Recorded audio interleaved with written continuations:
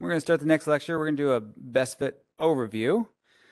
Um, so we'll take a quick look at um, some of the purposes and kind of reasons behind RMC best fit, and we'll talk a little bit about Bayes theorem, and then we'll look at the look at best fits project elements. So some of this will answer some of your questions here, but um, a lot of the deeper reasons are, we, we kind of address in maybe the later, the, the level 216 class. And we can talk offline on some other things too. All right. So in this lecture, we're going to give that overview of RMC Best Fit. So we'll explore the background behind it and the three main project elements uh, within Best Fit. So that's the input data, your distribution fitting, and the Bayesian estimation. Uh, and then we'll take a quick look at the user interface and just how it works. So each one of these we'll look at in further details in later lectures, but this is just, like I said, a quick overview of it. So why use uh, Bayesian methods? So we can use Bayesian estimation analysis uh, and fitting tool, so RMC best fit, to enhance and expedite flood hazards risk assessments within the flood risk management, planning, and dam and levee safety communities of practice. So the Bayesian approach offers a framework that is well suited to incorporate all sources of available hydrologic information, such as the systematic records, historic data, regional information like regional skew, and um, rainfall runoff results. So um, some of that we call prior information information you know before doing the analysis. So that's that's where that regional skew, that regional uh, rainfall frequency will play into it. So we also have we can incorporate paleo flood analysis results as well as um, expert elicitation. It gives you the flexibility to, to use some engineering judgment. So. Uh, with the ability to incorporate regional information and expert elicitation, Bayesian methods can provide um, higher confidence in the fitted flood frequency curves and the resulting reservoir stage frequency curves. And that's important when we're doing dam levee safety. We're trying to reduce our uncertainty. So Best Fit was developed by the Risk Management Center in collaboration with the ERDC Coastal Hydrologic Laboratory. So just, just for reference there. So, what is Bayes' theorem? So, Bayes' theorem describes the conditional probability of an event based on data as well as prior information or beliefs about the event or conditions related to the event. So, it provides a way to revise existing predictions given new or additional information or evidence. So, simply said, Bayes' theorem is an initial belief plus some new evidence equals a new and improved belief. So Bayesian takes an it takes more of an intuitive approach to the problem. Um, so we we won't again we won't deep dive into what Bayes' theorem is uh, in this course. We we do cover the theory behind Bayes' theorem and how we use it within best fit in our uh, level two DLS 216 flood hazards for risk assessment course. But Hopefully with that little bit of background, you are now more of an expert in Bayes and you will have no trouble. So, but if you, not to worry, Best Fit is built as an intuitive, straightforward software, so it can handle all statistical analysis for you, almost black box like, but it handles it all for you if you don't quite grasp the full, you know, equation of Bayes' theorem just yet. So right now, just know that it does it all for you with a lot of good default settings to take care of the problem for you. All right. So when's a good time to use best fit? Basically, we would we would suggest using it at any level of study, from screening through detailed assessments. So especially for dam and levee safety. Um, best fit can be used for many different types of distribution distribution fitting applications, such as flood hazards, seismic hazards, expert elicitation, and many others. Um, and uh, RMC best fit analysis can include many different sources of data.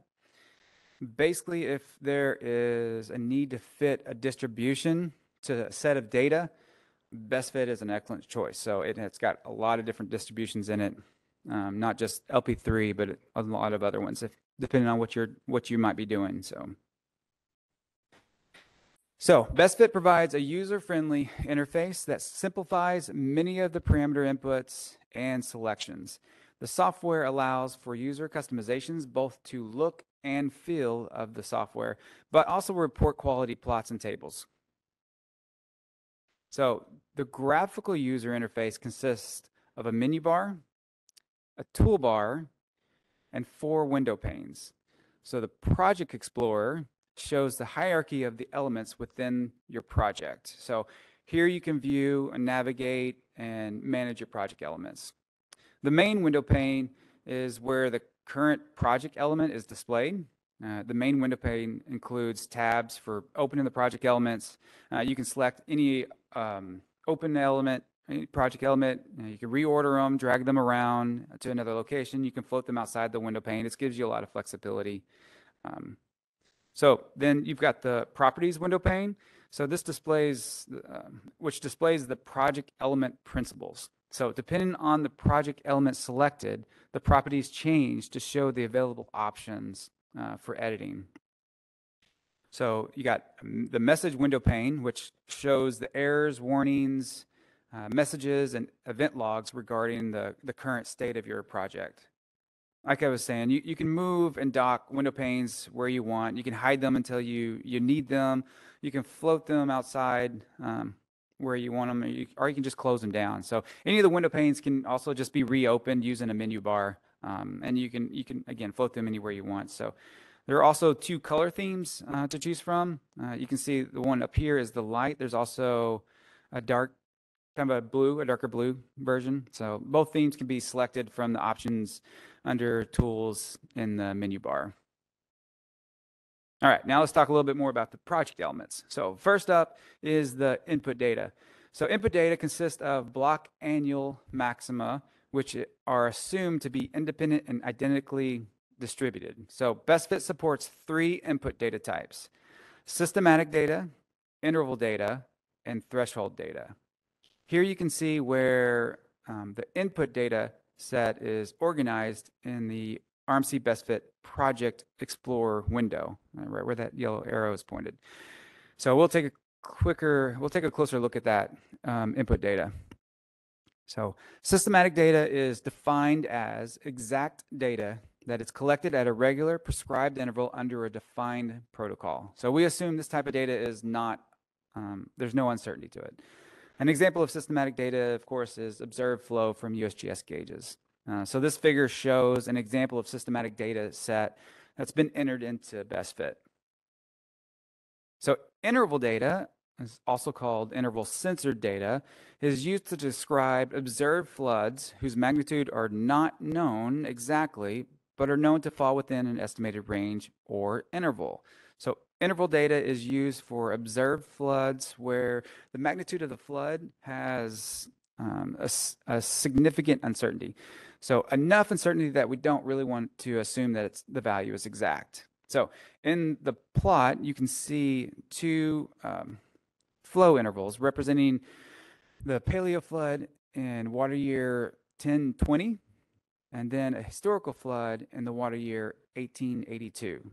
So interval data is displayed as a light blue point with uncertainty whiskers.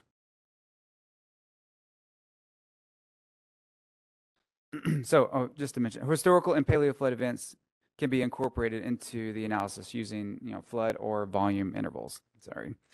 So now perception thresholds describe um, unobserved floods that occurred during a defined time period or whose magnitude is known to be less than some threshold value.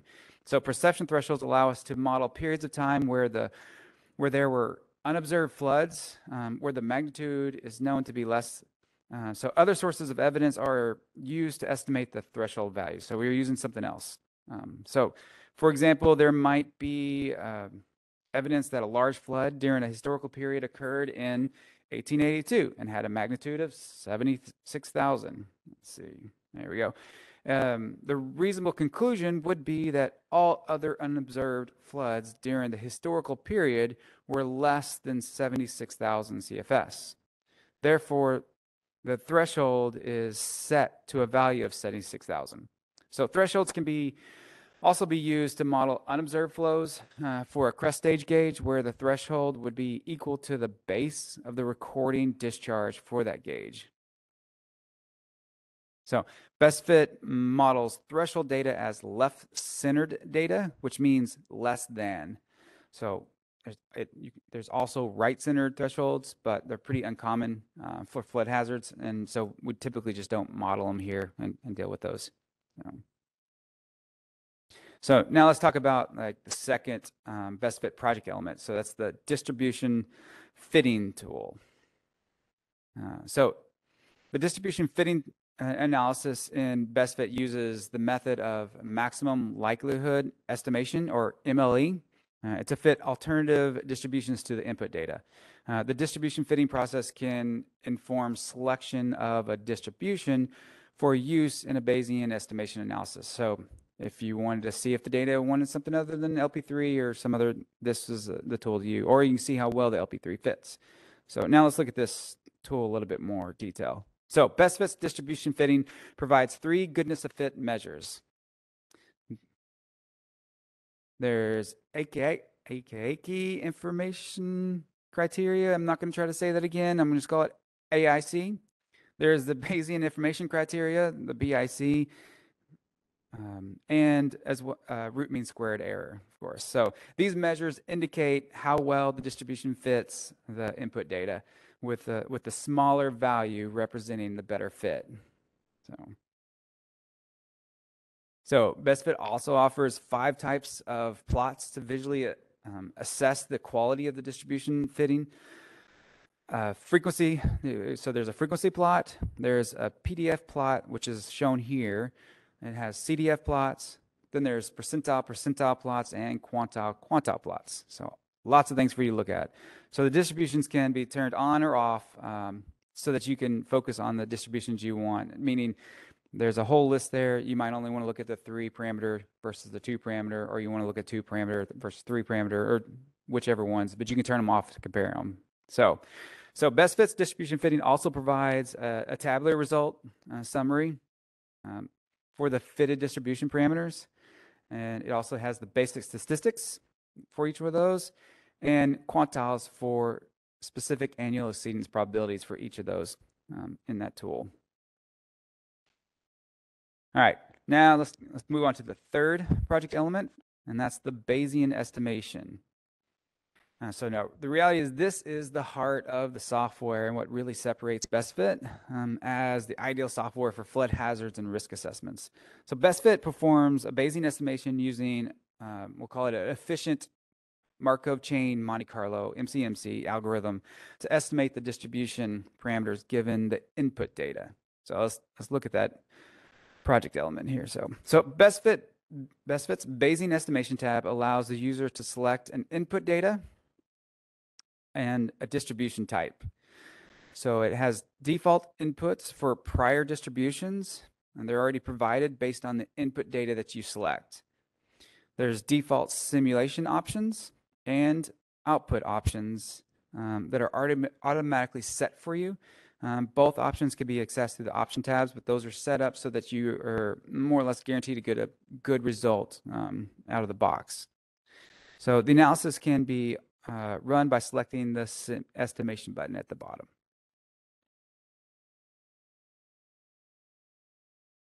All right, frequency results are the primary uh, exploration tool for graphical and tabular results of the analysis. So shown on the left is the frequency curve. And shown are the uh, posterior predictive curve with a 90% credible interval and posterior mode curve. That's in the left. So shown on the right are the tabular results for the frequency curve, including the tabular summary for the AEP along with the parameter estimates and the summary statistics for the posterior mode. So you can think of the posterior mode as the computed frequency curve and the posterior predictive as an expected or mean frequency curve. Uh, so for a lot of our risk assessments uh, from here, uh, and like we'll talk in the um, RFA, you're going to want to use the expected frequency or here the posterior predictive curve um, to inform flood hazards. So several addition, additional exploration tools are available. Um, so shown here is, is an example of a kernel density plot of the parameters, and here's a bivariate um, plot. So the kernel density plot shows, again, the distribution of a parameter, and the bivariate plot shows the relationship between a set of two parameters. So it's hard to see. Basically, you have the skew in the y, standard deviation on the x, and uh, the, the bigger the skew, the less standard deviation. So showing the relationship. So BestFit also provides several diagnostic tools. Uh, so examples of those are autocorrelation. You have Markov chain traces and a mean likelihood plot. So the default simulation options, again, will typically ensure you get good, reasonable results out of the box. So however, there are, there may be situations where you need to evaluate these diagnose, the, diagno using the diagnostics and adjust your simulation. So best fit plots can be edited to produce report quality figures, uh, allowing you to clearly communicate the information in a report and presentation. You want to be able to really show off the work you did. So particularly, um, every element of the plot can be edited.